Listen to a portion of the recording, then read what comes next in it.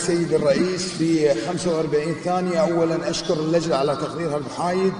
ثانيا ما ذكره ممثل هذا البرلمان المحتل الغاصب يمثل أخطر أنواع الإرهاب وهو إرهاب الدولة. هذا ما يمثله هذا الغاصب وأنا أقول له في هذه الثواني ينطبق عليه المثل المعروف عالميا إن لم تستح فافعل ما شئت. عليك أن تحمل حقائبك وتخرج من هذه القاعة بعد أن رأيت ردة الفعل من كل البرلمانات الشريفة بالعالم أخرج الآن من القاعة.